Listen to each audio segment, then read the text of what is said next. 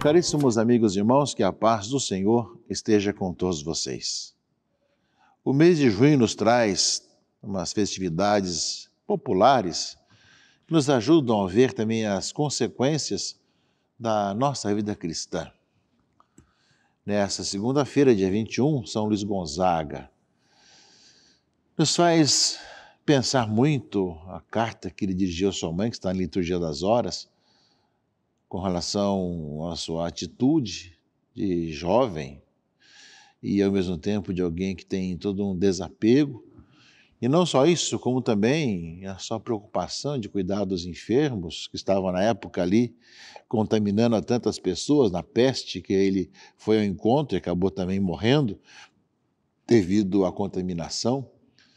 Mas padura da juventude, jovem destemido, com coragem, vivendo a vida cristã com radicalidade, servindo aos necessitados da época. Muitas vezes nós, levados por tantas questões, acabamos não aproveitando esses grandes exemplos para nós.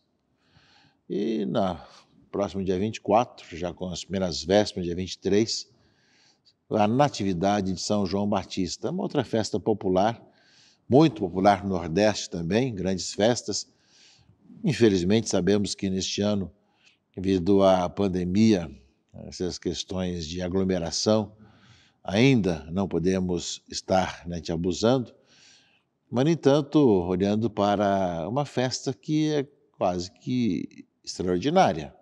Porque normalmente a festa dos santos nós celebramos o dia da sua morte, que é o Vere Dias Natalis, ou seja, o verdadeiro dia do nascimento, é o dia que nascemos para a eternidade. Mas se tem a, a festa do nascimento de São João Batista, porque, segundo a tradição, ele já foi né, purificado no ventre de Isabel quando Isabel visitou Maria. A criança, justamente já na, no ventre de Isabel, estremeceu ao anunciar que estava chegando Jesus Cristo ali no seio de Maria. Portanto, celebramos o nascimento de São João Batista com grandes festas e para ver também como a igreja tem uma grande influência em vários aspectos também na cultura.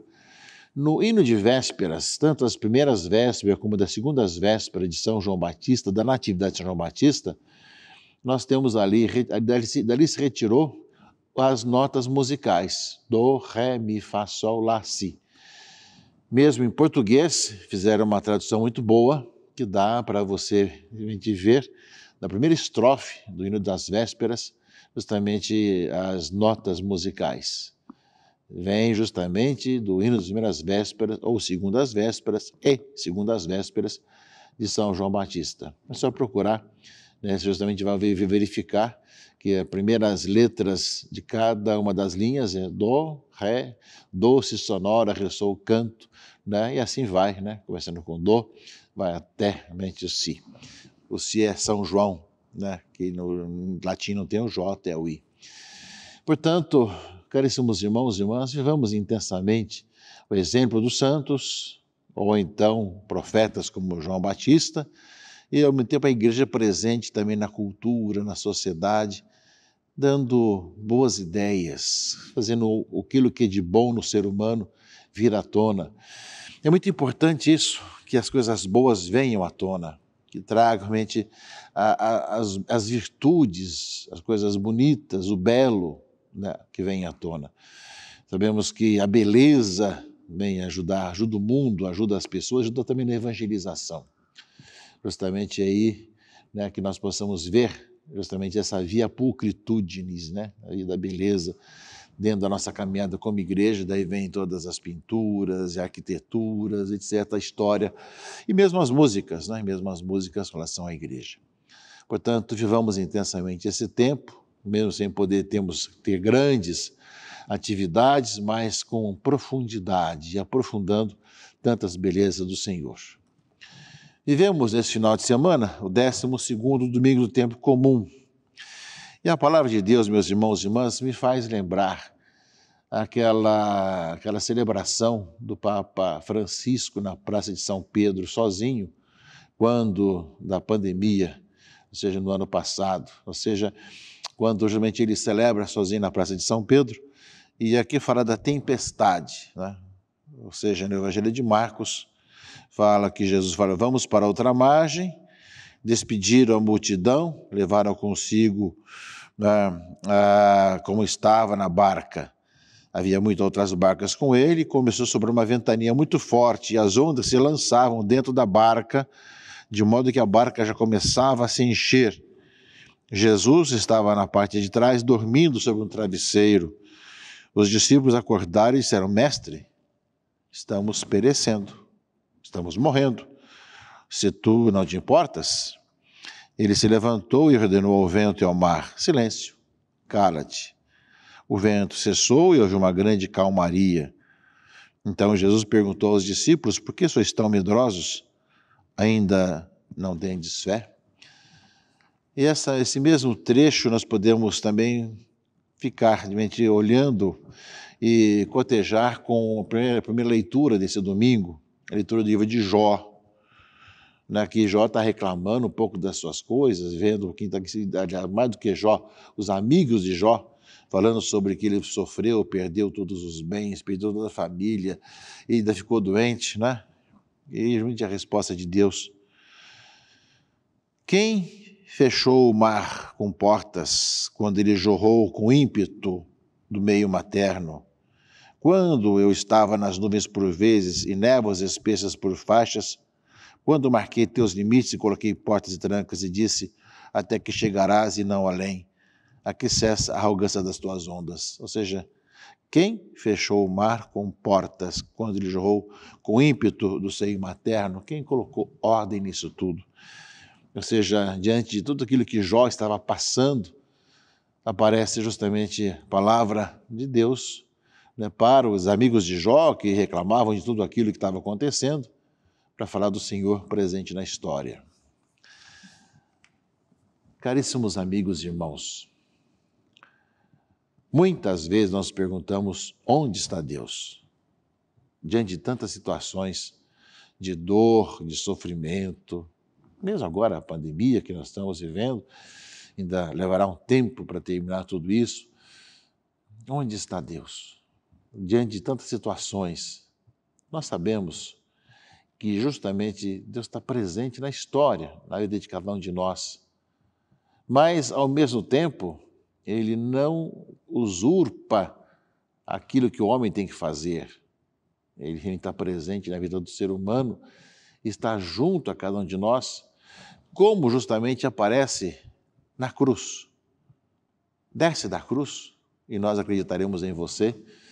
Assim, nós sabemos que você é Deus, mas Jesus não desceu da cruz. Ele morreu na cruz, depois ressuscitou. Está vivo presente no meio de nós hoje. Ou seja, essa presença do Senhor.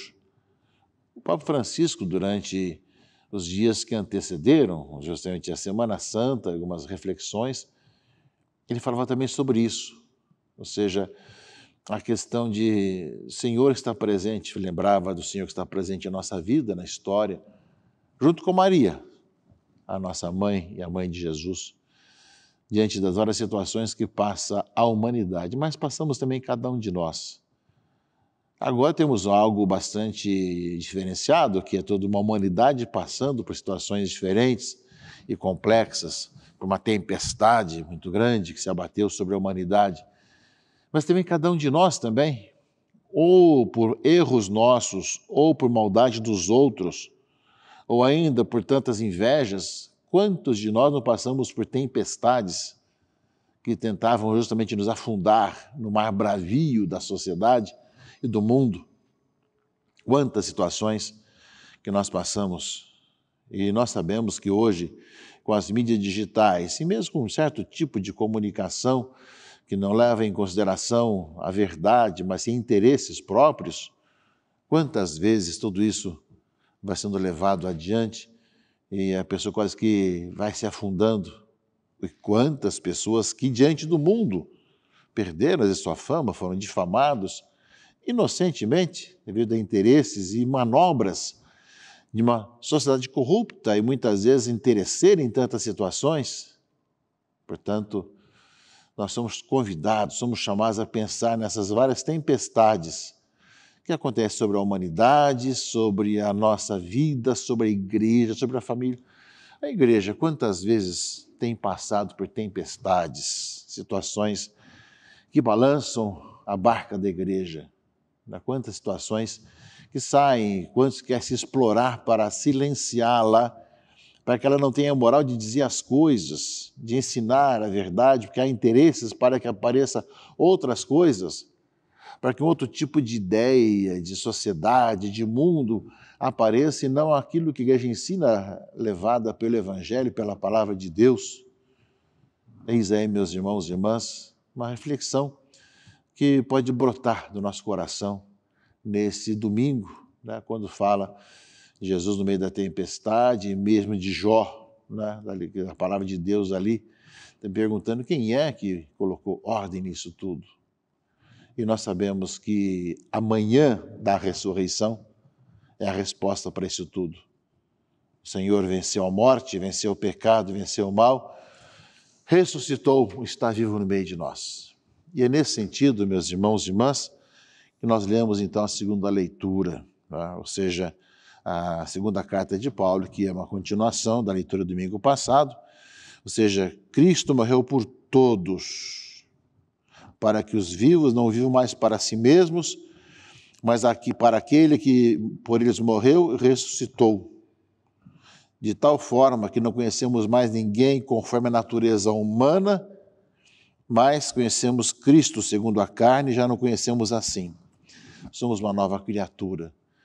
Ou seja, somos chamados a ver que Cristo morreu, ressuscitou, pois nós conhecemos tudo à luz de Cristo ressuscitado. Isso é tornar-se esse novo homem, a nova sociedade, a nova humanidade, que o trecho de hoje da carta de São Paulo aos Coríntios deixa entrever com muita clareza. Se alguém está em Cristo, é uma nova criatura, é uma criatura nova. O mundo velho desapareceu, tudo agora é novo tudo agora é novo. Passa esse mundo velho, passa o homem velho, passa uma nova, uma velha humanidade e se transforma na nova humanidade em Jesus Cristo, nosso Senhor. Pensamos a Deus, meus irmãos e irmãs, que também nós, nesse final de semana, nesse mês de junho, com tantos acontecimentos, festas, reminiscências que nós temos da nossa própria vida, do nosso próprio nascimento, do nosso próprio batismo, da nossa própria caminhada cristã, de como nós podemos cada vez mais e melhor viver a vida cristã, sabendo que passaremos sim pelos mais negros abismos, sem temer mal nenhum, pois teu cajado nos dá segurança, seja, o Senhor caminha conosco, não nos abandona, mas caminha conosco, está presente na nossa barca, como fala justamente o Evangelho. Ou seja, o vento cessou e houve uma grande calmaria.